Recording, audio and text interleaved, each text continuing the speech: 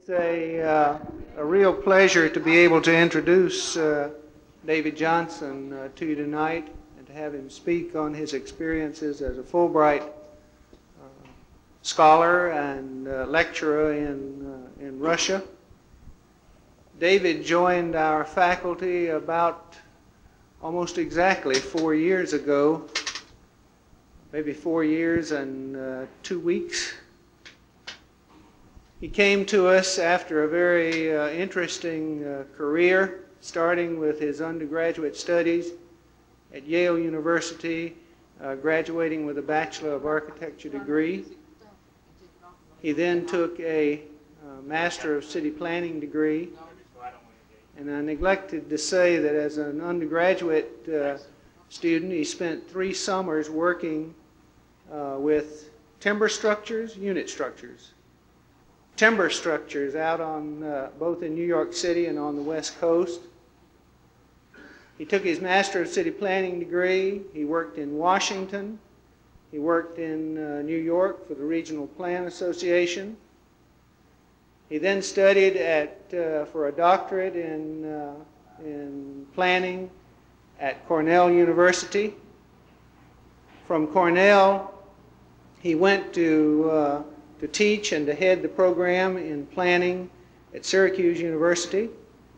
And he joined uh, Ball State University uh, from that uh, job as, uh, as chairman of their department at Syracuse. It was about uh, two years after he joined us, or a year and a half, that I uh, had the opportunity to sign his his application for a uh, Fulbright, saying that if he got the job, it would be okay for, uh, for him to leave us for uh, four months and to go to Russia. And so after I signed that, it was about uh, six weeks or two months later that I was able to go to Washington and serve on the uh, Fulbright Selection Committee and again get to sign off on, uh, on Dave Johnson. And it's very nice now to have Dave serving on that same uh, Fulbright uh, committee in Washington. And it's especially nice to have him here tonight speaking on his travels in Russia. Dave Johnson.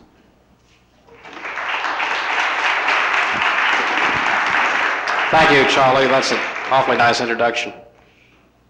See if I can make this thing work. They don't have these in the Soviet Union, so you don't have any problems this way.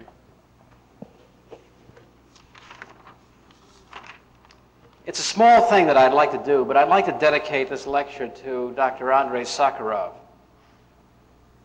who was born in 1921, graduate of Moscow University, Nobel laureate. And I'd like to dedicate, dedicate it also to his wife, Elena Bonner. Uh, Dr. Sakharov has, in the past week, been moved to internal exile in the city of Gorky. And the last uh, proud voice of the dissidents has been silenced. It's a sad occasion. Uh, I think you'll understand my sentiments as I go through this lecture. One can't go to visit the Soviet Union without coming back with very mixed emotions. Mixed because one becomes very much attached to the Russian people, to the Soviet peoples, and very dubious about the system that they are burdened with. We have many stereotypes about that system, and I came to understand who these people are and what they do and why they do it a lot better than I had known before I had traveled to the Soviet Union. But I am still not enamored of the way they treat their people and the way they organize their society. Uh, can we have the lights, please? My trip took me to uh, across the world. And uh, I decided that it would be an, a very nice opportunity, instead of going directly from Muncie to Moscow, this trip, to go the long way around. And so I, I uh, traveled to the West Coast, to Hawaii, and then uh, to Japan. And in Japan, I caught a Soviet ship traveled to the port of Nakhodka, which is near Vladivostok. Vladivostok is closed to foreigners. Traveled from Vladivostok on the Trans-Siberian Railroad to the city of Khabarovsk, which is in eastern Siberia. I'm sorry, it's in the Soviet Far East. Siberia doesn't even start until you get to the city of Irkutsk uh, near Lake Baikal. And then from uh, Lake Baikal, Irkutsk, I traveled on to Novosibirsk.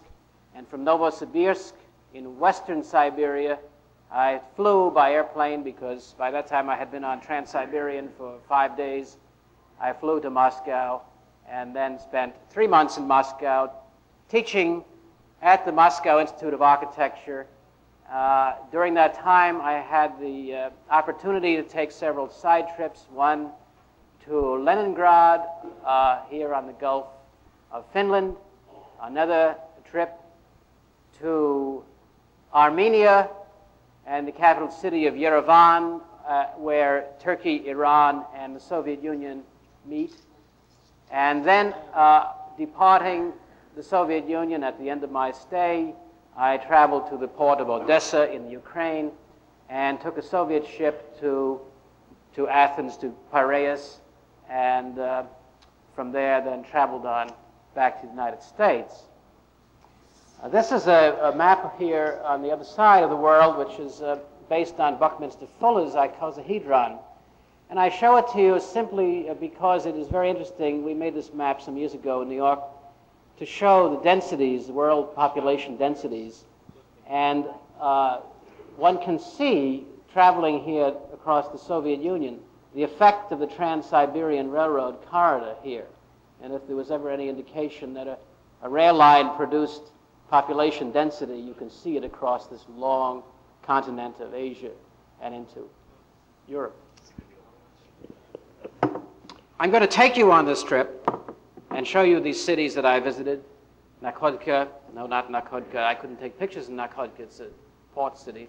Khabarovsk, Irkutsk, Novosibirsk, Moscow, Leningrad, Yerevan, Odessa, home. So travel with me on this tour of the Soviet Union. My trip started uh, in Tokyo and uh, then down uh, to, on the bullet train to Yokohama, where I boarded the uh, Soviet ship Baikal. And here, eh, traveling uh, to the eastern coast of the Soviet Union. This is what it, the terrain looks like near Vladivostok. Very hilly, very beautiful, very cold, and uh, very military. And here we are entering the port of Nakhodka. Now, it is against Soviet regulations to take pictures of ports, trains, radio towers, military personnel, policemen, and just about everything else. So occasionally, if you see some pictures of, those categories, uh, they were accidental, and please don't report me. We took a, a, train from the port of Nakhodka. We traveled mostly at night along the Chinese border. A wonderful old train, uh, pre-revolution train. Uh, on the right is the restroom with a wonderful window. Uh, and this train took us up to meet the Trans-Siberian Railroad, uh, which was coming from Vladivostok. We were not allowed in Vladivostok. It's a closed city. And this is the countryside in, Siberia, in, in the Soviet Far East. Very flat. Uh, it begins to look like Siberia with its birch trees.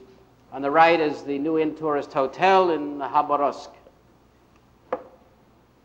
And here you see the Amur River, uh, which is the uh, river which uh, uh, a few miles away, uh, one has the Chinese border in the distance. The, the mountains are right on the border of China at this point and uh, this is a very cold and treacherous river. And the entranceway on the left uh, is to a sports pavilion. It's, uh, it's a very green city. Most of these cities in the Soviet Far East and Siberia are very green cities. Uh, one has always the war memorials and the eternal flowers that are always put there in memory of the many people who died in the Great Patriotic War, World War II, we call it. Uh, here is the sports pavilion uh, in Khabarovsk, the easternmost major city of the Soviet Union. And uh, on the right is the City Hall area, the Great Square, laid out according to the principles of Milyutin, who stressed in the Soviet city planning that you must have a, a large square for parades and demonstrations. And here you see the square uh, and the flowers. These cities in the, in the Soviet Far East and Siberia uh, always have flowers when they can grow flowers. The Siberians are, are, very keen on, on flowers. These are green cities, they're open cities, uh, uh, spacious, that is, and they have a very good public transportation. They follow all the good principles of urban planning that we urban planners espouse. Uh, if uh, if the political system is the requirement to have this kind of urban planning, I think I would pass it up myself. Now, here are some of the new housing one sees in the uh, city of Khabarovsk. Soviets have had, uh, Russian citizens have had very stringent housing conditions, but they're improving uh, gradually. The norm was nine square meters per person uh, the last time that we checked, which is not very much. And there is a great deal of crowding in these facilities, but uh, there is a lot of improvement at the same time.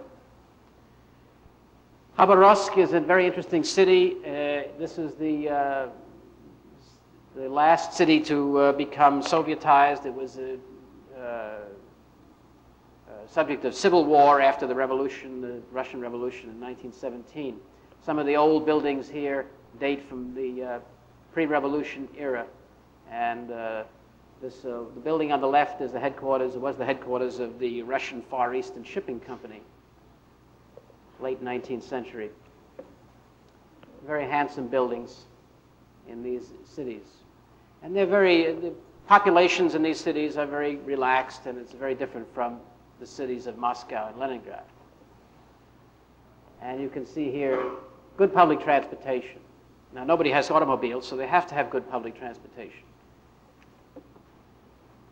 The cities are very uh, pleasant, and there are many old buildings, which uh, many of which are being preserved. They're doing a pretty good job of keeping up the old buildings. Uh, uh, and there is a strong preservation movement, particularly for the old Russian culture.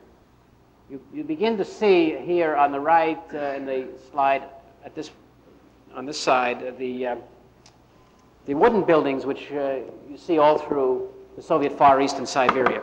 And these buildings are being lost very rapidly. It is very unfortunate, but they are very beautiful buildings. Some date from the 19th century, uh, some even earlier. They are denigrated by Soviets because they are supposed to be old-fashioned. They have not decided that these are buildings worth keeping in large numbers. They will keep one or two as representative, but that's all. They say people don't like to live in them. And, uh, but they are wonderful buildings and uh, uh, beautiful carvings. They're losing them very rapidly. Now, here we are. We have met the Trans-Siberian, and uh, this is the interior of the Trans-Siberian. The Russians don't call it Trans-Siberian, they call it Rossiya. Trans-Siberian is the Western word for it. They don't like it to be called Trans-Siberian. This is the interior. Uh, on the right-hand side, you see us running to get some mushrooms or salad or potato skins or something that they're selling. Uh, the meals on the Rossiya are very nice breakfast, uh, lunch, and dinner, it's all the same. They just change the menus. And we arrive now at the capital of eastern Siberia, Irkutsk. And each city has its own medallion. Irkutsk uh, is a, uh, has this medallion. It's an otter capturing another creature. And uh, this is the center of fur trade and has always been center of fur trade in the Soviet Union. Again, you see the flowers. On the right, the main street of Irkutsk. Irkutsk is called the Paris of Siberia, if you can imagine such a thing. Uh, and it's called that because the czars exiled so many noblemen to this city in the, in the 19th century, troublemaking noblemen. And they brought their culture with them, and some of them were uh, oriented to building beautiful cities, and they built a very handsome city in Irkutsk. It's a lovely city.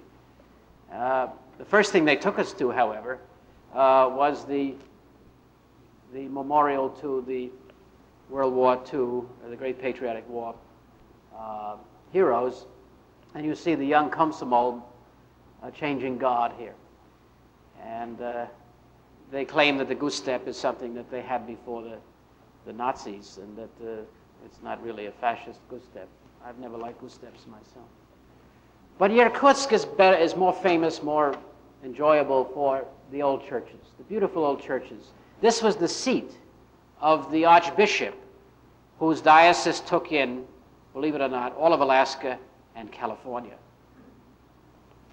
And uh, he, this city of Irkutsk is two and a half days by train from the Pacific Ocean. But, uh, and I'm not sure the Archbishop ever got over there, but he was in charge of, of building, uh, of the, uh, of the uh, Russian uh, religion in North America.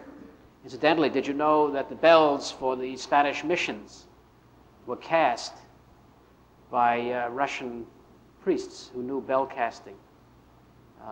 there was some trade back and forth in the, in the 16th century. These are some of the old churches, Russian Orthodox churches, working churches, which are being restored in Irkutsk.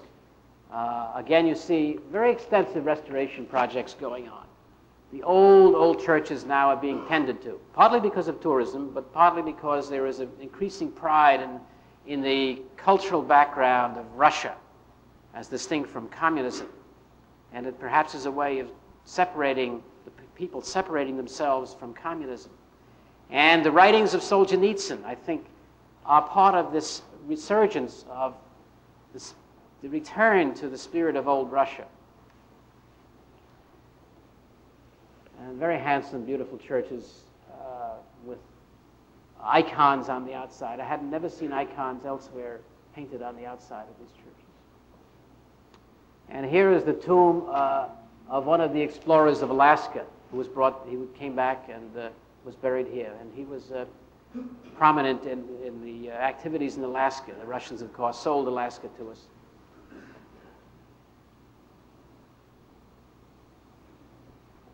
And when we went in these churches, there would be uh, church services going on. And here is the main street of Irkutsk, and you can see why it's called Paris of Siberia.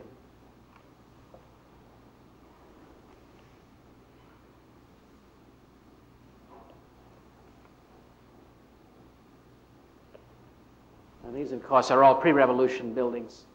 And note all the trees. The trees, uh, the Soviets do plant trees, and you have to give them great credit for their tree planting schemes.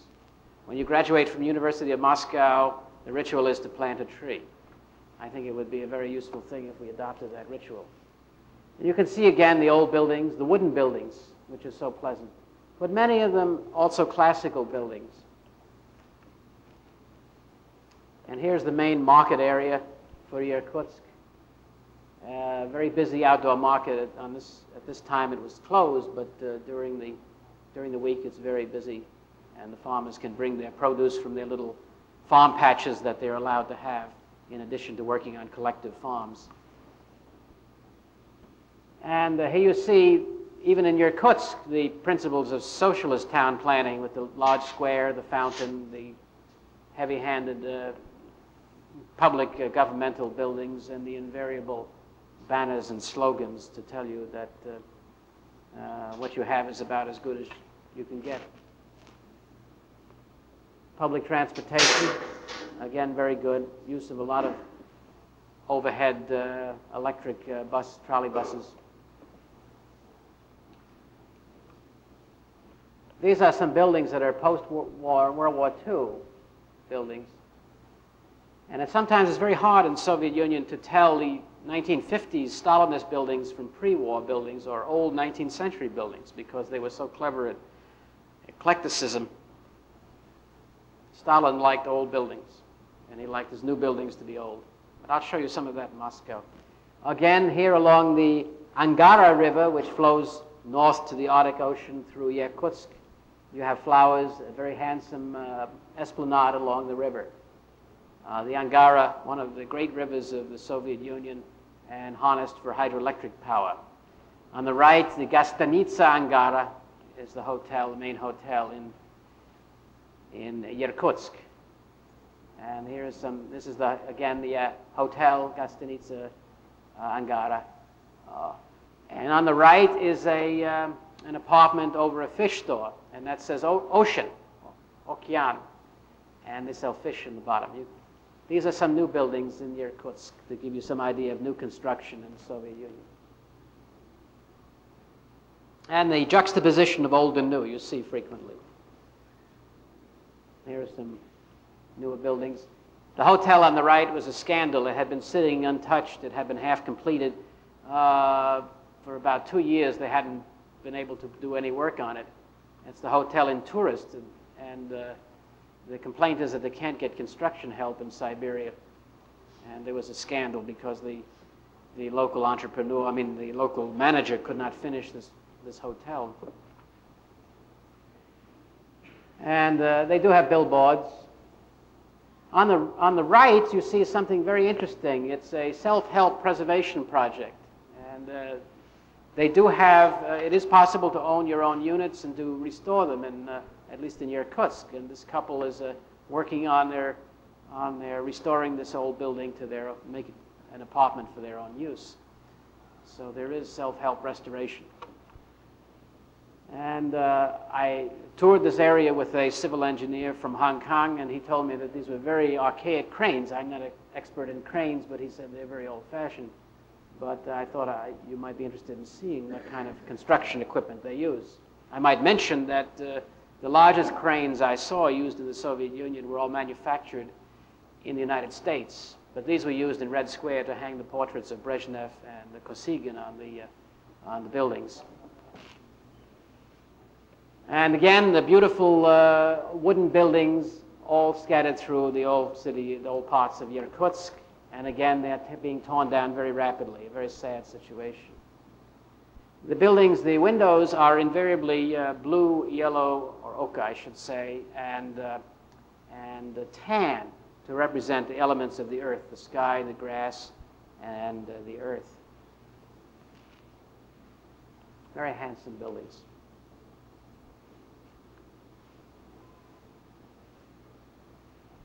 I think the locals were very irritated. I was taking so many pictures of these wooden buildings because they thought they were so old fashioned and I was going to give them a bad reputation. And again, the main street, telephone booth, and the Angara River. Now let's, I want to take a little detour here and show you the, the great lake Baikal, which is just south of here and which lies between Irkutsk and the border of Outer Mongolia. Lake Baikal is, has one-sixth of the fresh water supply of the world, an extraordinarily beautiful lake, and uh, the subject of some concern about pollution uh, among Soviet environmentalists. And uh, they have stopped the construction of industry on this lake uh, so far. Here you see the Angara River, which drains Lake Baikal flows north to the Arctic. Most of the rivers in the Soviet Union flow north rather than south, and many of them are now being developed for hydroelectric power.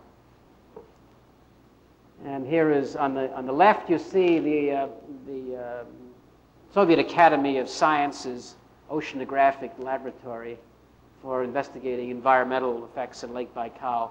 On the right, you see a Soviet uh, couple who have just been married, and they have come down to throw their wedding wreath in the waters of Angara for good luck. And we come down uh, to the lake. You have to climb high to see the lake into the taiga, the woods, you know, the Siberian woods. And you climb and you see the snow capped mountains uh, overlooking Outer Mongolia. And here is the lake. It must be one of the most beautiful lakes in the world, enormous. And we see only a small uh, arm of the lake at this point. And there are several hundreds of rivers that flow into this lake, but only one drains at the Angara.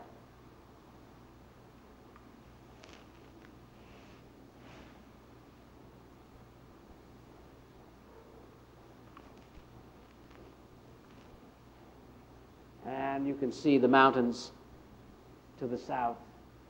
And beyond that, those mountains is Outer Mongolia, which is a fiefdom of the Soviet Union, is subservient to the Soviet Union.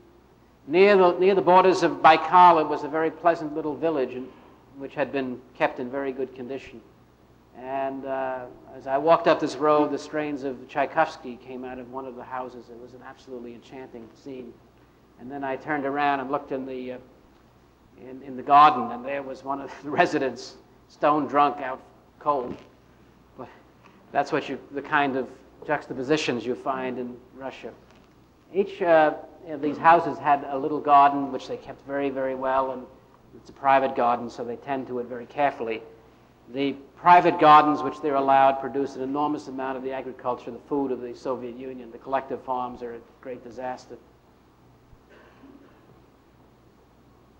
And the flowers, again, flowers everywhere, this time in the windows, and beautiful ornaments around the windows, the village well. Just a lovely place. And Siberia is filled with these little villages. This was no special place.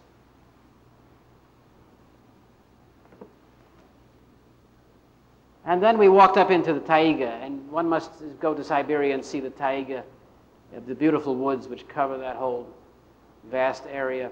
And they're mostly birches, but they're mixed with the deciduous evergreens, other kinds of trees. So you get this very subtle effect. And notice the birches are all vertical. And uh, in America, the birches fall over. I don't know what that means, but the birches uh, uh, stand straight in Soviet Union. Siberia. And this is the, this is the taiga, beautiful woods. Well, so much for Irkutsk, which is the capital of eastern Siberia. Then I went to western Siberia, two more days on the train, through the taiga, birches, birches, birches, and came to the city of Novosibirsk, capital of western Siberia. This is the opera house in, western, in Novosibirsk and uh, the invariable statue of Lenin that you find. And as I approached Moscow and came into the city, it became more tense. And the closer I got to Moscow, it became more tense and more closed. And this city was, was not as pleasant as Irkutsk. This building was finished during World War II. Uh, it, was a, it was in progress before World War II. And uh, very curious building. It's the main opera house and theater in the city. Again, see the flowers. Siberia is filled with flowers. Here are the heroes of labor of Novosibirsk. Always you will have these pictures up of the people who are have the highest uh, uh, party evaluations as workers. On the right, uh, Stalinist uh, housing on the main square some old buildings. Now, Novosibirsk has some very interesting old buildings from pre-revolution. And this is a, a restaurant and electric supply house. And uh, this dates from about, I guess, 1900. But there's some very interesting uh, 1920s buildings, too, in this city. Uh, these are memorials to the Civil War. After the Russian Revolution, there was a terrible civil war between the whites and the reds in this area and the Reds uh, eventually took Novosibirsk. Uh, and here are some interesting 1920s. Uh, well, one on the left is, a, is really Art Nouveau, and the one on the right is a workers' club from the 1920s after the revolution. And here are some other interesting uh, uh, structures from the 1920s when architecture flowered right after the revolution. And there was a great deal of experimentation. The exhibition outside in the exhibition area of Leonidov uh, shows you some of the work that was going on in the 20s. This is some that was built. The building on the left was built in the 1950s. And this is what Stalin enjoyed building, and he filled Moscow with it, as you'll see in a minute.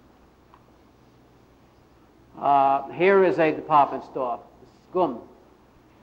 No, I'm sorry, it's Sum. There's Sum and there's Gum. This is a department store in Novosibirsk. On the right, again, wooden buildings. You see very handsome wooden buildings. And here also they're losing them. Except the one on the left here is the headquarters for the neighborhood association. So this will be saved. And I thought that was a very nice kind of gesture. So, from Novosibirsk, I flew to Moscow and uh, moved all the way across 11 time zones. Uh, here's Lake Baikal. Novosibirsk is here. And then I flew to Moscow, which is here. And Moscow is uh, a, an interesting city from planning point of view. Uh, this map is the plan of 1935, this, the Stalin plan. I point out some things here that we should keep in mind as we look at Moscow. The Moscow River, which meanders through the city, and the concentric quality of the city with the Kremlin in the middle and then successive ring roads around it.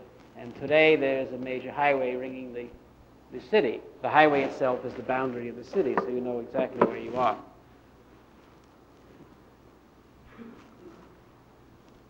Uh, Moscow was very grim compared to the free feeling of Siberia. And here we see Red Square and St. Basil's, very famous.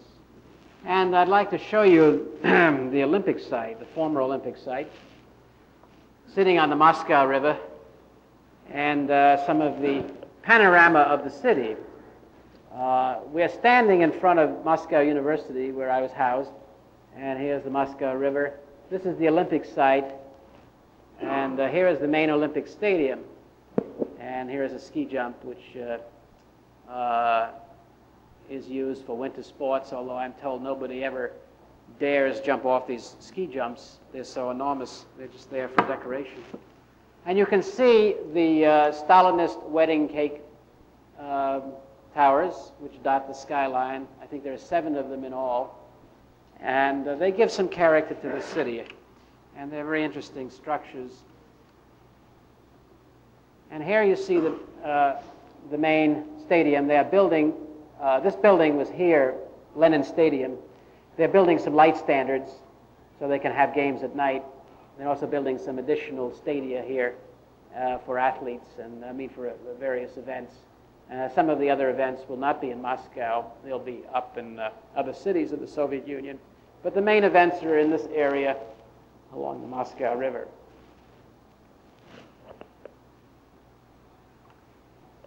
And uh, here's another picture of the skyline. Uh, you can see the, some of the dramatic skies that one gets uh, in this latitude.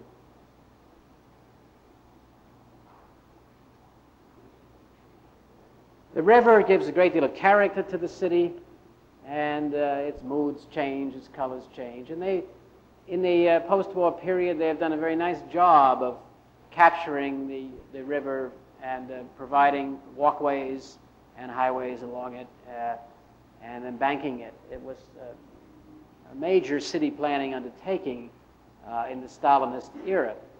We see several buildings that are worth pointing out new buildings. Most of this was Stalin architecture. The, all of this, these structures, these apartments and other kinds of buildings were built as part of this major redevelopment along the river.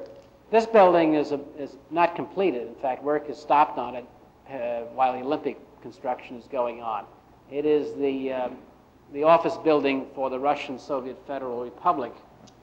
And uh, it's a uh rather crude building. This building is the headquarters of Comecon, the eastern equivalent of the common market.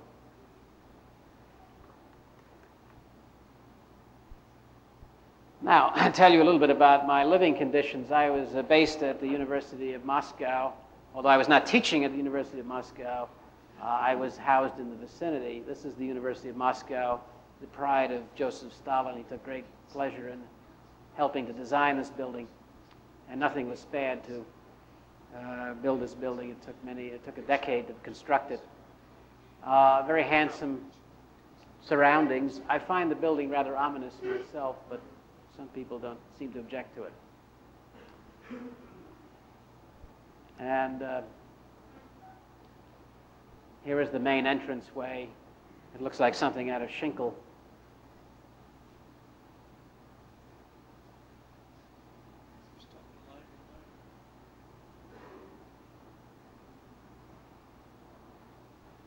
Moscow University. And uh, I used to run around Moscow University with a ball U sweatshirt on. I don't know what they made of me, but uh, nobody ever stopped me. This is the University Hotel where I was housed, and uh, I was up on this floor about here. And these are some of the other Fulbright faculty who were housed in the uh, hotel with me. This is my room. I had uh, about uh, 10 square meters to live in, and uh, it was just barely enough to carry on business in the hallway on the right. Outside my window, I could watch the Olympic uh, housing being built in this area. And that, would be, that was to be the Olympic Village, and it's covered now with apartment buildings. And here's the view out of my window. You can see some of the apartment structures and the invariable advertising for the Soviet party. And you can see here a work crew running, walking through, cleaning up, picking up the uh, debris in the, in the median strip. Again, it's a very open, green kind of setting. This is the uh, Architecture Institute. This is Architectury Institute, where I taught. And I gave uh, three lectures, or I, actually I gave one lecture a week and two seminars, and uh, had packed classes. It was a, a marvelous audience. They were just starved to hear about the United States. They weren't allowed to talk to me outside the classroom, but they uh, were very enthusiastic inside the classroom. They, they have just uh, acquired another annex building over here, which is next to the, this is the corner of this building, and their facilities have now been uh, greatly enlarged. This is the leading uh, institution for instruction in architecture in the Soviet Union and uh, for, for urban planning. And here is the interior. You can see they have uh, modular boards. The models and the drawings are all on the same size panel. And they're put on boards and they can put them up in these little grooves and they always fit. Everything has to be the same size in the Soviet Union. Here is the Faculty of City Building, or the City Planning Faculty, and I had my office in there. Uh, and every day I'd go in and see Mr. Brezhnev and Mr. Lenin one of the chief occupations in the Institute is to design uh, pedestals for statues of uh, Vladimir. And you can see all the pedestals that are, they take pride in. That's how they keep honest, and then they can do anything else they want. Actually, they're very free spirits in that place, and I really have to admire all the things they get away with in that society. This is their exhibition area, and the man is watching everything they're doing, of course. But here we are playing a game. And I would like you to hear a little bit of this game. This is urban dynamics, and it's a capitalist game, like Monopoly. And they got very excited about this game. And they started becoming entrepreneurs, selling property, and uh, calling each other uh, not tovarish, which is comrade, but gospodin, which is the old capitalist form of address. They lapsed into. So I was very subversive using this urban dynamics game. Вот здесь еще два рабочих. Здесь четверо служащих и двое рабочих. А, конечно. Только как вы будете определять And these were students from all over Moscow. They were not just from the institute. They were allowed to come in from all the institutes and play, play this game, and they enjoyed it. That's, that's, okay, that's enough of the uh, game. Thanks. I might say that the, the most popular game to buy in Moscow is Monopoly, and there is a Russian version of it, believe it or not. You see it on the, on the metro all the time. There are all kinds of anomalies like that. Here is the House of Architects. This is where you go if you're an architect and uh, you want to have dinner out, take a guest, and you can go to the House of Architects here. So you see it's very architectural, and it has an annex here, very modern kind of thing. I think it was kind of pathetic. Across the street, they had put up a very nice apartment house to make sure that you knew it was the House of Architects. And this was a very uh, prestigious place for party members to live. If you think it's an egalitarian society, it's not. It's full of privilege. The party gets everything it wants. How did we eat? This is the Uzbekistan restaurant. And we had to stand in line here. And uh, this is where I had my first fist fight, or near fist fight, shoving match, with these Uzbekis who had come. You see the hat? And uh, we uh, waited to get in, and we waved our American passport, and that, that didn't get us anything. So finally, we pushed and shoved and finally got in. Meanwhile, all kinds of other people were showing little cards and getting in on the side. Well, they were all obviously party members. And the Uzbekis are very interesting. They're very spontaneous, very different from the Russians. Uh, this is my wife. She came over for a visit in Red Square. I took taking a picture of her in front of St. Basil's. And this Uzbeki woman came up and planted herself right next to Eleanor and smiled and took the had our picture taken, and then just broke up in laughter. She thought it was the funniest thing she had done. And it was the only spontaneous thing I'd seen in all of Moscow and all my time there. I think that's why they're afraid of the Central Asians. They're just too spontaneous. St. Basil's, of course, a marvelous building. Uh, when Ivan the Terrible finished with this building, the, uh, he had the two architects killed because he didn't want to have anybody else getting as nice a building. So they, they paid a heavy price for designing this building. Uh, the Kremlin, of course, this, the heart of Moscow. And uh, here's a very interesting story. These towers were designed by Italians from this. These were Italians brought in to design these towers around the Kremlin. And uh, beyond the tower, this main entrance, uh, you see the Palace of Congresses, which was inserted into the Kremlin. And a very interesting story behind this. But this building, while it was designed by Soviet architects, Russian architects, they didn't trust the Russian construction industry to build it, so they hired an Italian building firm to come in and build this building. And this is where the main party congresses are held. And uh, so there's something ironic about the Italians having done this and having done this as well. And uh, a few more views of this wonderful, very Italian tower. Now here you see the Palace of Congresses and in the interior during a party session. And this was inserted. It wasn't a bad job of inserting it into the Kremlin. It hasn't done too much damage. And the Kremlin, uh, of course, half of it is open, half of it is not. This is the, uh, the main governmental offices where Mr. Brezhnev and party uh, hang their hats and, uh, and decide to uh, send their Red Armies to Afghanistan. That's off limits. That was designed, incidentally, by Italians, too. Uh, this is the Armory, a very handsome building. And uh, here is where the treasures of the Kremlin are kept.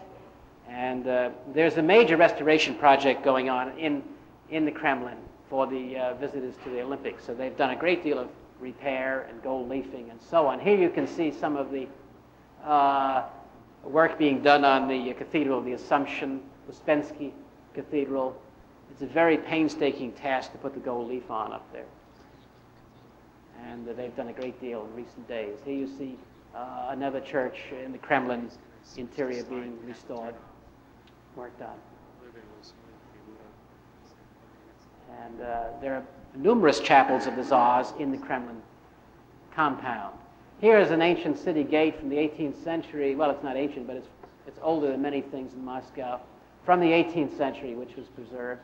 And here you see the corner of the Art Nouveau Hotel Metropole which was the seat of government when Lenin came down from Leningrad, uh, Petrograd. A few city, city scenes, uh, invariably the posters. There are no license plates in Moscow. You paint the license plate on the back of the vehicle. A Russian wolfhound. We stopped to say hello to this woman who was walking around the corner and admire her dog. Immediately, this man walked over to eavesdrop on us parks. There are many parks in Moscow. It's a very green city. And the children are, uh, are uh, very much coddled and taken care of. Uh, they're really babied, much more than American children. Uh, I guess it's because they face such a grim future that they are cuddled when they're small. But they are very cute children. They're very pleasant. Uh, and they love to go take them to the circus. This is the new circus building near the university and it's lots of fun. And every city in the Soviet Union has a circus building and its own resident circus. A piece of uh, old Russian architecture, the domes, uh, the chapels are, are just marvelous the silhouettes, uh, delight. And uh, it is preserved in very good condition. The walls, very handsome. Here's the entranceway. And uh, it's, some of the churches are still working churches inside. Novodevichy, it's called. And the freestanding bell towers, rather Italianate. And there's a burial ground here. This is the convent that Boris Godunov banished his wife to.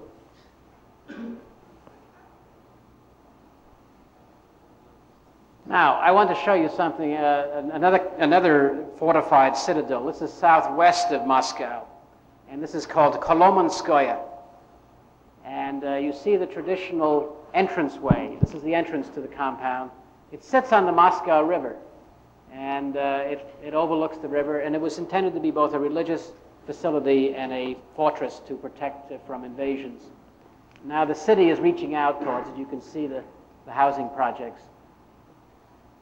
And uh, one of the most marvelous and earliest of the old churches is this ancient church. I can't date it, but uh, it is under restoration now, and it's just a stupendously powerful building. I'm just absolutely overwhelmed by it. And uh, there is a collection being taken up by the Historic Preservation Group in the Soviet Union to, to return this to its original condition. And I should say that preservation in Soviet Union is really very well advanced. They're very sensitive to uh, the uh, notion of protecting uh, all the original fabric. The sign says restoration, architect, so on, tells who is doing it and so forth. And it is the, under the auspices of the Museum of Kolomenskaya. And here are some later structures, bell towers, in the compound being restored. You can see the weather is not always the best in Moscow. I think I saw the sun all of about a tenth of the time I was there. Now, I wanted to show you something else that is very interesting. Further down the river, I spotted this later, this older church was not in the compound, and I, so I started walking, and I kept walking and walking because it looked like a very interesting silhouette, and I didn't know it was off limits. And I got up to it and found that uh, it was abandoned. It had had been some work was being done on it, and I walked into the graveyard and I found all the tombstones pushed over and all the graves dug up. And it was very spooky. And then I realized what had happened that uh, there was a, this graveyard had been mutilated by uh, the uh, regime which wanted to discourage the use of this facility for burials. And this was confirmed to me later by an Orthodox priest who told me that the families were burying their dead in this uh, old churchyard, and uh, to stop it, they had come and, and uh, they had dug it up and, and uh, desecrated it. And I'm sure these pictures would not be very much appreciated by the KGB. Well, I, I got picked up by the KGB. And uh, I was out walking outside this hotel, Rossiya, the biggest hotel in Europe, very ugly thing.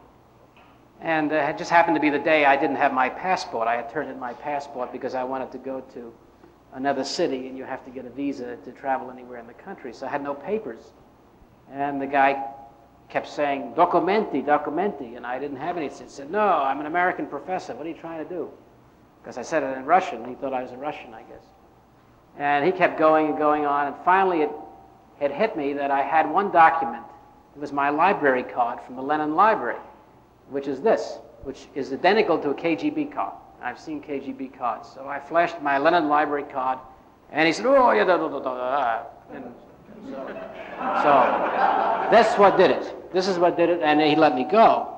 So I'm very grateful to the Lenin Library for giving me this library card.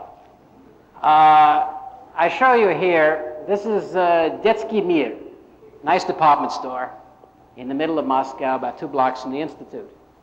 I, I took this picture not for this nice department store, but for this building here, because this is as close I was able to get or willing to get to take a picture of Lubyansk KGB headquarters. And uh, I was told if I took a picture of KGB headquarters straight out, I'd probably get my camera taken away. It has seven stories underneath the ground and it is connected by a tunnel to the Kremlin. And if you want to read about Lubyansk, read Solzhenitsyn. Uh, the Lenin Library. This is the new building of the Lenin Library. This is pa- Pashkov House. It was a house of a merchant, which is now connected to this building, which is over here, and it is the children's library, and it's right near the, the uh, right near the uh, Kremlin.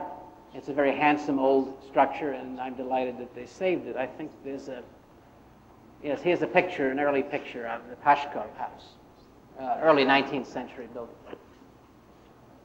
So they, they, they do take care of their, their old buildings.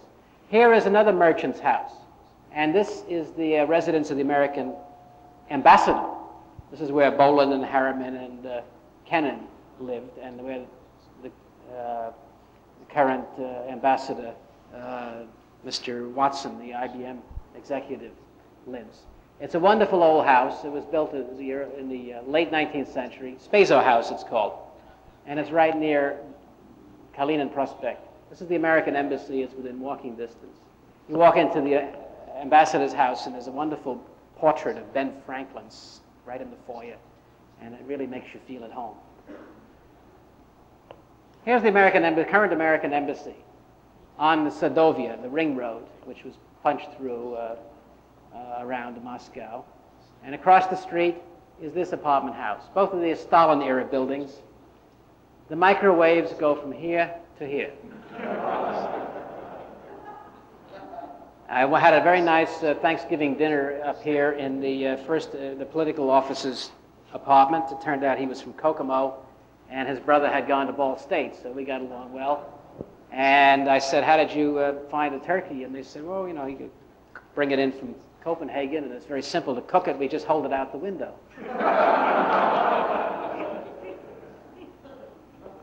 Uh, but they like Americans. They like Americans in Moscow, and uh, so much so that anything that they have uh, that it says U.S. on, they will proudly display. In fact, some clever Armenians got together and are producing these uh, university bags from St. Louis University and selling them in Moscow as the real thing. Of course, we'd never spelled St. Louis this way, so he gives it away. I was walking in front of the embassy one day, and uh, a very attractive Russian woman was carrying a, a bag like this, and uh, I nearly collapsed in laughter on the sidewalk. It said American Breeders Association. This is the site of the new embassy, which is to be built shortly. It's right near, it's right behind the old embassy, and uh, Skidmore, Owings and Merrill of San Francisco office have the uh, contract for this building. The interesting thing is it's been under negotiation for about 10 years. The new Soviet embassy, which was to be built exactly at the same time, is ready for occupancy in Washington. I went to a, a service in Moscow. This was the, uh, the service uh, in this church, a working church, on the, uh, one of the neighborhoods in Moscow, and it was jam-packed.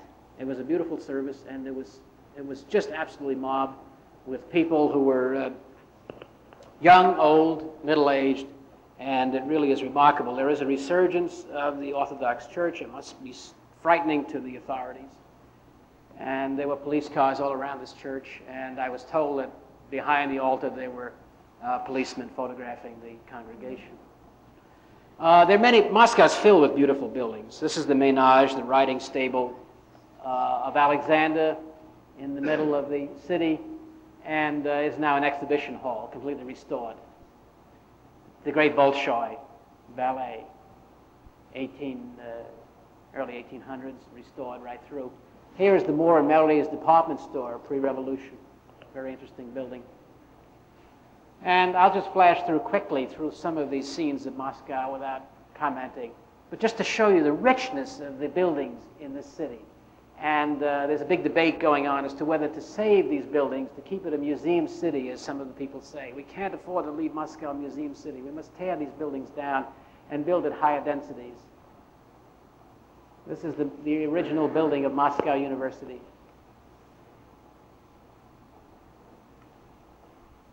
And this was in the old Arbat district.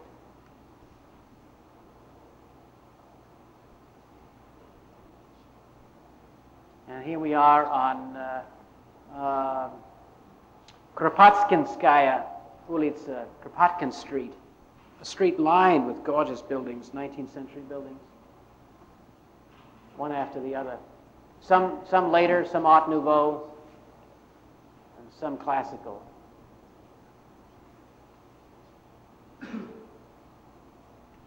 A very rich city for architectural historians. Probably the leading city after Brussels for Art Nouveau that is intact.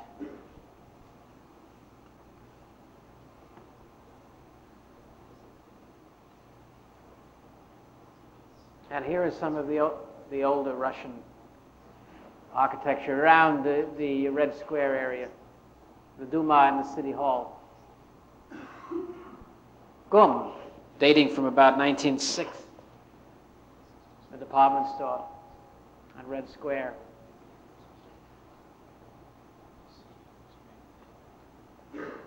The Morozov House, now the House of Friendship for All Peoples. Soviet citizens are not allowed to go in. This is the, Len- the Leningrad station, and this is the Yaroslavl station by Shechtel. At the turn of the century, there's some very interesting work going on, very much like uh, some of the work in, of Peter Behrens and that group. Uh, and uh, you see, Shechtel was very interested in uh, old Russian kinds of forms. And here is the apartment house in that genre from around the turn of the century. And the Tretiakov Gallery, very interesting building, all harking back to early Russian forms, eclectic, but in a very interesting way. Again, this uh, uh, Pertsov apartment house on the Moscow River, very interesting turn of the century. And you see some Art Nouveau here in this structure. And uh, the Ryabushnikov house, one of the great Art Nouveau buildings in, in, in, in Moscow. Gorgeous building. And uh, called the Gorky house because Gorky lived there, but uh, Gorky had nothing to do with it. When the revolution came, they told, uh, the, they told the troops, don't destroy buildings. They put these posters up. This was a 1917 uh, poster to save the old buildings. I thought that was kind of interesting. And uh, so there was some sensitivity to the old stuff. And after the revolution, uh, there was very was a great deal of excitement about design, and uh, uh, you got people like Melnikov and Ginsberg designing, and Leonidov. Uh, we have the exhibition outside, and they, they had workers' clubs, and this was a workers' club in Moscow, and this this is the entrance. There's little stairways up here, this was supposed to be a little place for people to go, to, a band to stand or a speaker to go up on and address the crowds who would be out here. And this would be a place for the workers to go because they weren't housed very well, they didn't have any place to go. And they built workers' clubs all over Moscow in the 20s, and many of them are very interesting architecturally. This is the, uh, the workers' club for uh, uh, theater people or movie people. It was originally uh, the, club for, uh, for, for, ex, for released prisoners. Uh, but the released prisoners uh, got to be very embarrassing during the purges because they thought uh, it was for released prisoners of communists, not the released prisoners of the czars and the, the whites. So they turned it into a movie uh, club for the movie actors. And it's a very interesting 20s building.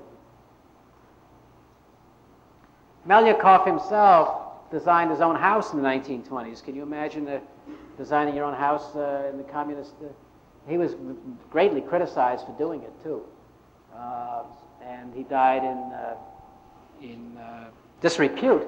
He was a professor at the institute. He taught at the institute, but it fell into disfavor in the 30s, and all of these 20 visionary people fell into disfavor, while the hacks came to power, and some of the hacks are still there and still running that institute. It's very interesting to look at some of the older types who are the old Stalinists. And uh, this building, Melnikov lived in this building uh, until his death, uh, oh, about eight years ago, ten years ago.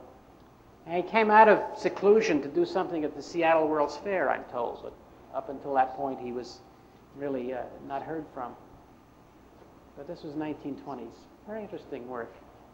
You can see that I'm not sure it's so successful, the penetration of. It's in fair condition. Uh, another interesting building right near the American Embassy, hardly known, hidden in the back, is this collective apartment house, the Ginsberg House, which is falling to pieces from 1921, something like that. Long before Corbusier was doing a lot of things, they were building these things. And uh, it was on Pilotis, and you see all the, all the kinds of things that Corbusier was doing. And it had a common kitchen. People would live in these apartments, and they'd live in, they'd have a common kitchen and cook in. Four years after the, uh, five years after the revolution, they were doing this. So you can see what a free kind of spirit there was in that place during the Lenin years. A marvelous building. It should be restored and saved. but it's not being preserved. It's in very bad condition. And it is not very desirable as housing. And I'm told that it was designed to be have the feeling of an ocean liner, and you, it had awnings uh, up here, and uh, it was a very, very uh, buoyant and and uh, vital kind of building. Let's see, okay. Uh, yeah. Now, what happened to, these 20s architects was that uh, Stalin did not like them. When Lenin died in 1924, Stalin came to power. He had a different view of architecture, took a very great interest in architecture, and brought the hacks to the fore. This man was not particularly a hack. He, Shchusev. Shchusev, he was a teacher at the Institute. He made his mark with the Kazan railroad station in 1914, before the revolution. And you can see he was harking back to some of the early Soviet uh, themes, the classicizing themes. And he came to the attention of Stalin when he designed the temporary catafalque for Lenin in 1924. This was the original of this building, which was later put in in Red Square. And this was so successful that this was put in and it mimicked the wooden structure, the temporary wooden structure that had been there. And so Shchusev became a very prominent designer in the 30s, designed the, the uh, Ministry of Agriculture building.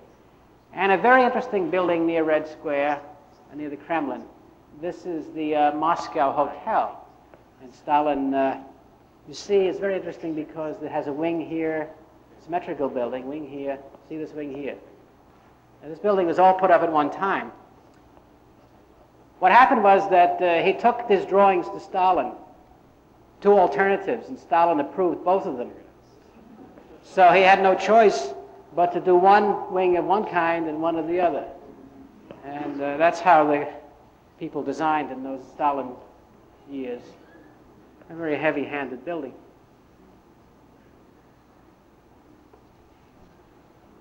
He also designed some of the most elaborate uh, metro stations. This is the Komsomolskaya station in uh, in Moscow. This is the top of it. This is what you see when you go in.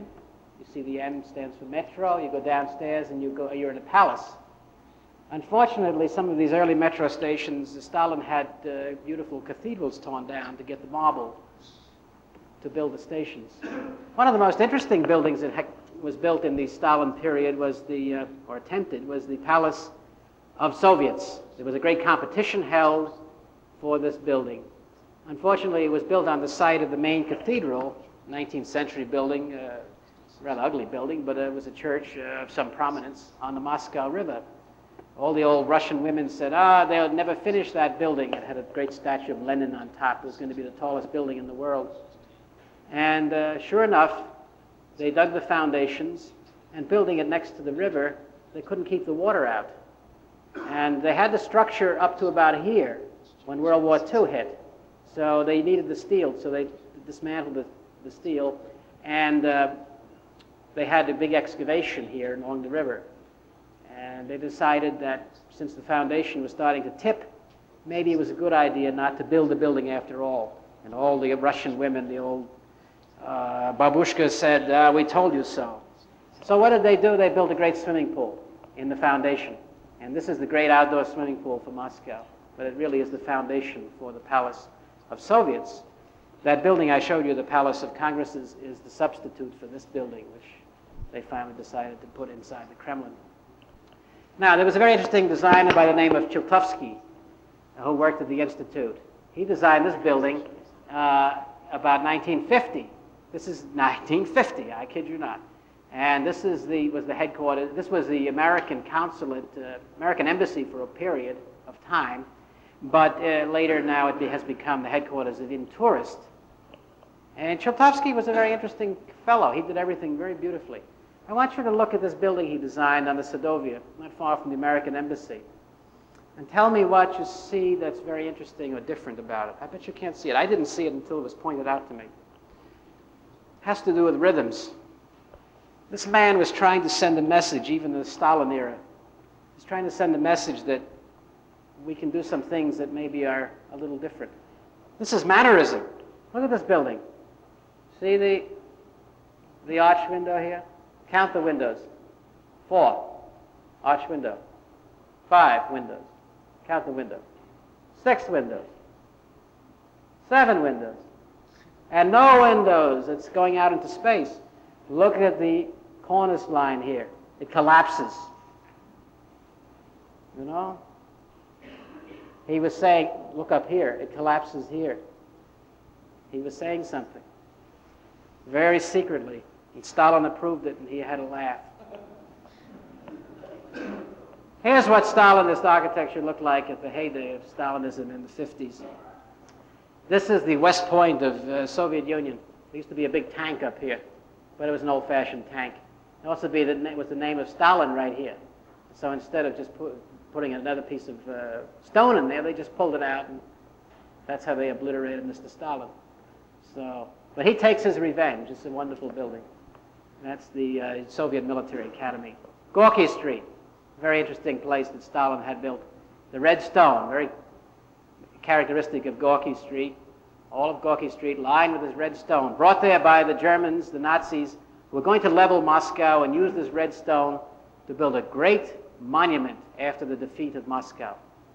And Stalin had the last laugh. He built Gorky Street with the German red stone. Uh, this building, another Stalinist building. Believe it or not, this is the Supreme Court of the Soviet Union. Yes, they do have a Supreme Court. And that's where, if you want to appeal being sent to Gorky, why you take your appeal right here. Uh, the wedding cakes I talked about. Interesting buildings. This is the University of Moscow. This is an apartment house which Stalin built for his cronies, and all these old Stalinists still live in there. It's the most elegant building in Moscow, and is worthy of being on Central Park West. This is the Ministry of Foreign Affairs. You want to read about, this is where Mr. Gromyko hangs his hat. And you can read about this in the first circle in Solzhenitsyn. This is where they took him when they arrested him. The Hotel Ukraine. One whole floor of the Hotel Ukraine is devoted to eavesdropping equipment. Now, when Stalin uh, was uh, in his heyday, he was building these kinds of circles and things uh, for monumental walkways, uh, parade routes for the army to go through. And this is what he loved. He loved these hemicircles. They're rather handsome. This is an interesting building in that Stalin died in the middle of it. So you see it's faced here with, uh, you see it's faced here with stone. And in here, they didn't have enough stone or they decided that they couldn't afford to do this kind of thing anymore. So there were many, many buildings that were half clad in stone when, when Stalin died. And Khrushchev came and he said, You can't do all this. You have to spend your money building housing, not monuments. So they decided to leave the, the, many of these apartments with their, their plain uh, uh, masonry.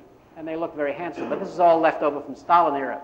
Now, when Khrushchev came in, he built, he was a very functional engineer type. So he built all of this stuff very rapidly. He wanted mass production. People were living in basements while they were building these gorgeous wedding cake buildings, and he thought that was outrageous. So he put up this kind of stuff, and uh, it's all falling apart, and they're now tearing it down, where the wedding cakes will last forever.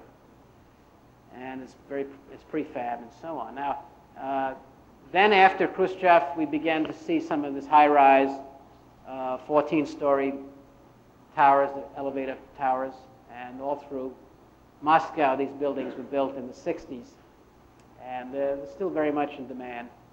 There's still a housing shortage. The new housing in Moscow is a monolithic, uh, I'm sorry, megastructure housing, housing and uh, it is not very desirable. It is not desirable. People don't like to live in this housing which is now being built because it's too big, it's impersonal, uh, it doesn't have facilities around it. They prefer the smaller kinds of housing. They complained about the school. They couldn't integrate, the planners can't integrate school planning and apartment planning because they're two different ministries. And you can't coordinate between ministries. So they have some of the same headaches we do. The, the acoustics in these buildings are so terrible you can hear your neighbor doing everything, so they don't like it. Uh, this is more housing. And a new university. This is a new uh, research collection of research institutes on the southwest of Moscow being built. Here is a housing plant, a prefabrication plant, building these slabs which they haul often. And you'll see many trucks going through Moscow every day hauling this stuff. They are really very building a great deal in Moscow. It's tremendously impressive. It's not very good construction, but the number of units is, is amazing. Here they tell you what's going to happen, which is sort of nice. Kalinin Prospect is uh, the urban renewal project, uh, which is near the uh, Kremlin. And uh, they wiped out a lot of old buildings building this piece of trash. Uh, they're very proud of it, and they think it's very modern and up to date. It's a combination of commercial activity and office activity. And I guess it could be worse, but there were a lot of fine old buildings lost in this project. Very busy.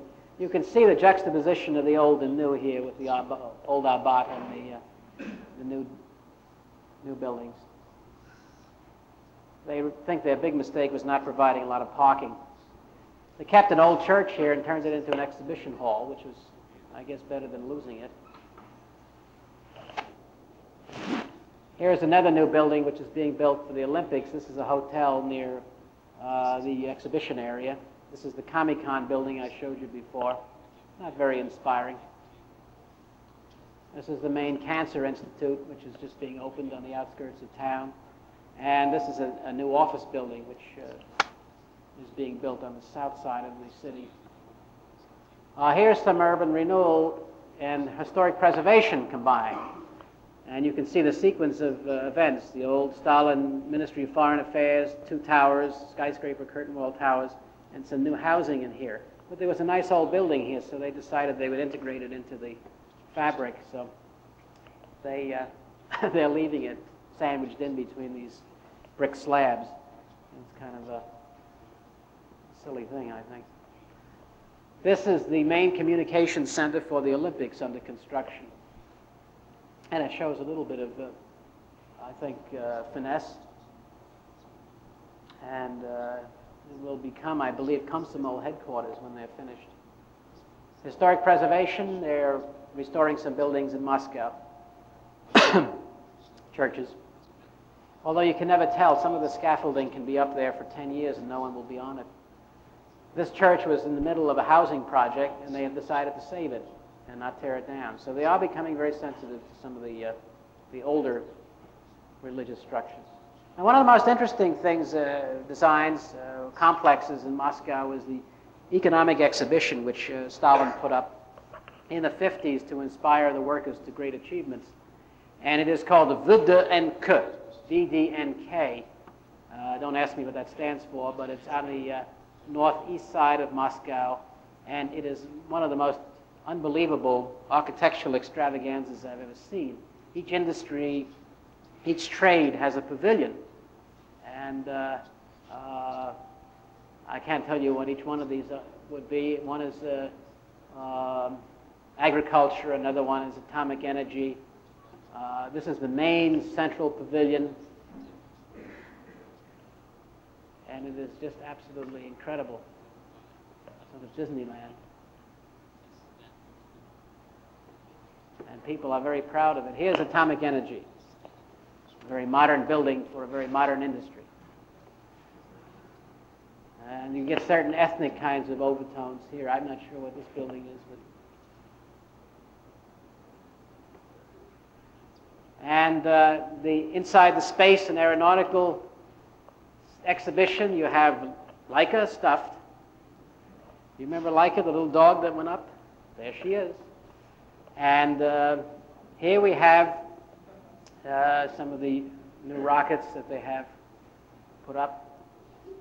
Uh, incidentally, the Soyuz Apollo is there on exhibition.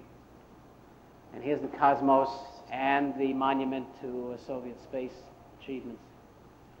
Now, so much for Moscow. I am going on long-winded here, but let me take you very quickly to a couple of other, the other cities that I went to I can't leave the Soviet Union without showing you the most beautiful city, uh, is, which is Leningrad. And here is the Neva River and uh, St. Isaac's Cathedral, the P Peter Paul Fortress, where Peter the Great began this marvelous city, which is, uh, has, it's like a northern Venice with its its water and its reflected light and its glorious skies. This is the Annapolis of the Soviet Union, the Naval Academy, and moored there is the famous destroyer, the Aurora, the Aurora, which fired the shots which uh, began the Bolshevik Revolution. So it's a, this is a very important monument to them, and they've preserved it. And the city is the most beautiful city, uh, extraordinary city, with unbelievable skies and silhouettes. It's also a very hard city. It's a, it's a very tough city. The communists lean on it very hard because they distrust it. It is a Western city. It has always looked to the West, and therefore they are very strict, much stricter even than Moscow. And it's my suspicion that the success of the Mr. Brezhnev will be Mr. Romanov, who is the boss of Leningrad, which does not bode well for future. The Bourse, the old stock exchange, a wonderful 19th century uh, classicizing building. And uh, the uh, area around the Winter Palace here. This is the Winter Palace. Now the Hermitage, the museum with the wonderful uh, collection of art, which was going, some of which was going to come to the United States, and which exhibition has now unfortunately been canceled by the United States government. And the naval, uh, the naval admiralty buildings uh, by an Italian architect uh, from the Tsarist period. Marvelous planned complex of buildings here. St. Isaac's Cathedral, rivaling, rivaling uh, some of the great churches in Italy and, and the Pantheon in Paris. Beautiful uh, 19th century monument.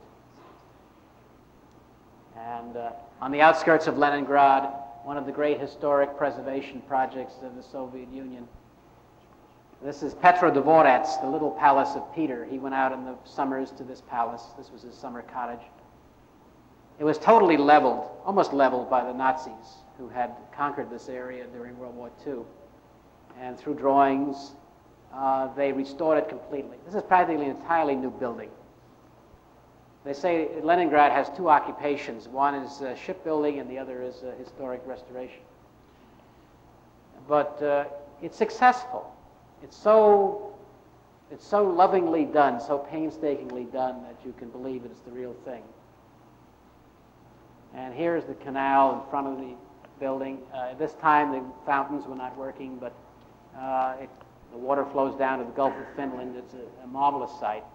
They're very proud of this accomplishment. Here's an interior. This was completed in 1950. This, these interiors were all rebuilt.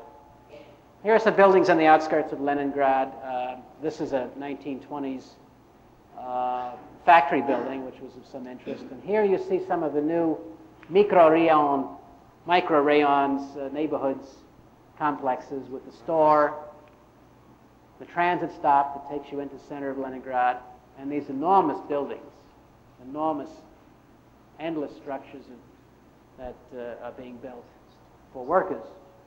Uh, but they're very pleased to have this kind of housing and housing shortage. Another city I visited was Armenia's capital, Yerevan, which just reached the 1 million mark, and it was like leaving the Soviet Union. This is a, one of the 11 constituent Union republics, but it uh, it's not like, uh, like the Russian Republic. Very free, open uh, feeling in this place. Now, it's not free, but it's, uh, it's much more lively, spontaneous, and uh, uh, has a, it's, it's like, leaving, like leaving Russia. And the food is much more plentiful here. This is the main opera house, and you get the very nice effects. Yerevan is built of volcanic stone, which is quarried locally, and it gives it a very beautiful color and uh, this is the quality of the city. The original ancient citadel sits outside of town. They've done a great deal in Armenia to preserve their ancient heritage. As you know, there was a genocidal uh, offensive by the Turks on the Armenians. The Armenians looked to the Russians to, as protectors. They're very favorably disposed to the Russians since the Russians saved Armenians from extinction. And so the Armenians make a great deal of their local, of their own ethnic uh, heritage. And so, and part of that is restoration projects and museums, such as this very handsome museum of, of Armenian culture. Because a lot of this is built with Armenian American money, which is sent over there. They, they look very ha- happily on American Americans because of the the contributions. Uh, here is the main square, a very handsome square made of this volcanic stone that I was describing to you. Uh, and here is another portion of it. And in Armenia, there are many old churches dating from the 8th century which are being restored. Here is one such church. Uh, it almost looks Romanesque, but it is many centuries before Romanesque period. And here is the interior. Some of these churches were not carved, not cut from stone, but carved out of, out of the mountainside. Stone, stone is so soft. the, here is a, a, restoration project completed a few years ago south of Yerevan, overlooking the hills and in the distance, uh, the Iranian border. Hellenistic temple at Garni. Garni. Uh, this temple from the second century AD had tumbled about 1750 from an earthquake, and it was just lying about in a kind of a jigsaw puzzle, and was put back a couple of years ago very carefully. And you can see they've done a very fine job of distinguishing the old and the new, which is the way one ought to do these kinds of restorations. Very impressive restoration. New structures, they're much more lively than in Moscow, very free. Look at these artistic kinds of attempts to liven up facades. Look at this prefabricated building, and the Armenians have come in and added their own windows and had the, cloth, the clothes are hanging outside. If you did this in Moscow, you'd be arrested. But the Armenians are spontaneous, and it makes a much more lively kind of place. Here's some more of these buildings in Tufa. And here's Karl Marx Institute. I gave a lecture at the architecture school here, and was very well received. Here's the monument to genocide. Very handsome monument. And I was taken to uh, Archbishop, the uh, Catholicos, the uh, Pope of the Armenian Church, uh, for a blessing, uh, but he wasn't in. So I didn't get the blessing. Uh, but as I was getting on the plane to leave Yerevan, word came that he was sending his blessing after all. And we made it back to Moscow in Aeroflot, so I assume the blessing was operative. This building, this Holiday Inn, is really the uh, headquarters, new building for the Komsomol, the youth organization to which all youngsters have to belong. Here is another one of these wonderful old Armenian churches which are dotted all over Armenia. And a solid gold hachka, which was given by a, I believe, a a German Armenian or a British Armenian to the Armenian church. And here's the Armenian alphabet, a beautiful uh, script. And these were unveiled to me by a priest in the, uh, in the St. Peter's of the Armenian church outside of Yerevan. And here is a new museum just opened, designed by uh, uh one of the uh, faculty members at the Karl Marx Polytechnic Institute in Yerevan preserving Armenian culture. And it is a wonderful combination of old and new. I think it's a marvelous building. There's a restaurant here, and uh, many of the uh, Armenian artifacts are housed here. And here is the, one of the most touching monuments that I've ever visited. This is the monument to genocide. And uh, they're playing, here is piped in very soulful Armenian music, uh, religious music, and it is a very moving experience to come to this place. This is a successful monument, tremendously successful, memorializing the millions of Armenians who were killed in genocide. I got back to Moscow. It was December. The snows were starting to fall, and it was time for me to go home. And I decided I would do what all good Russians want to do, head for the warm waters of the Mediterranean or the Persian Gulf. The Mediterranean seemed to be the easiest through the Black Sea. And so I went down to the port of Odessa, Odessa on the left here. And this is my view from Moscow as I left it. A week later, it was 40 below zero. Odessa, I had expected palm trees on the Black Sea. And this is what I found. It was bitterly cold. But Odessa is a very beautiful city in its own right. It's Leningrad of the Black Sea and a very handsome old 19th century city. And uh, I boarded a ship to leave the Soviet Union. I came by ship and left by ship and headed for Greece. And as I went out, I went down the Potemkin steps, the famous steps made uh, famous by the Eisenstein movie, where the great mutiny took place at the foot of the steps, and the Tsar's soldiers slaughtered all the sailors in the 1905 rebellion. And they had built this new facility here. This is an illegal photo. I want you to look at this ship. This is the Yuri Gagarin. These are radar masts pointed to the sky to track satellites. And this ship belongs to the Soviet Academy of Sciences. So if you think they're backward, they're not backward. They're very advanced when they want to be. I sailed down through the Dardanelles and the Bosporus to Greece, and I went and I sat on the Acropolis and pondered the meaning of what I had been through and pondered the origins of the democratic system in Greece. And I'm still pondering the meaning of what I experienced in the Soviet Union. I would have to say that the Soviet Union is not monolithic.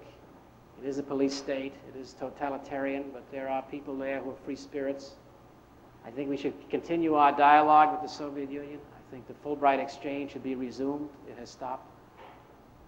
And I think that we must somehow come to some understanding, and they must come to some understanding of us because we won't survive if we don't. It was a tremendously exciting experience. I want to go back in some ways, in other ways, I don't. But I'm happy I've had the chance to share this with you tonight. And if you have any questions, I would be very happy to try to answer them. Thank you very much.